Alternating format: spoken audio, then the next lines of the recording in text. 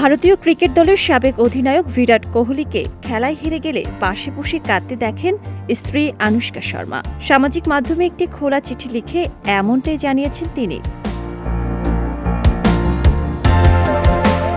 সম্প্রতি ভারতের টেস্ট দলের অধিনায়কত্ব ছেড়ে দিয়েছেন বিরাট কোহলি। এতে মন ভেঙেছে তার ভক্তদের। সেই প্রসঙ্গ টেনেই স্বামীকে নিয়ে আবেগঘন একটি পোস্ট দেন আনুষ্কা।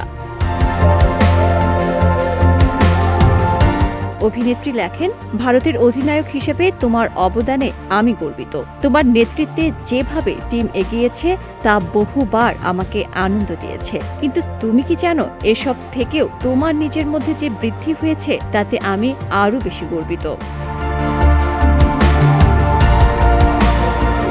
আনুষ্কা লেখেন, তোমার শক্তির প্রতিটি কণা তুমি মাঠে দেওয়ার চেষ্টা করেছ। প্রতিটি হারের পর তোমার কান্না ভেজা চোখ আমি দেখেছি। হার তোমায় ভাবাতো কি করা যেত আর। এই জন্যই তো তুমি সকলের থেকে আলাদা। তুমি তো ভান করতে পারো না, বিরাট। তুমি যে শুদ্ধ।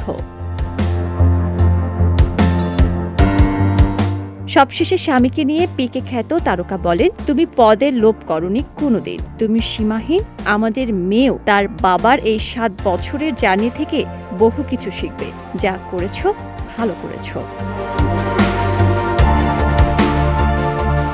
দুই হাজার সতেরো সালের নয় ডিসেম্বর সকল জল্পনার অবসান ঘটিয়ে বিয়ের পিড়িতে বসেন কোহলি ও আনুষ্কা। আর বিয়ের তিন বছর পর তাদের সংসারে আসে প্রথম কন্যা সন্তান বামিকা।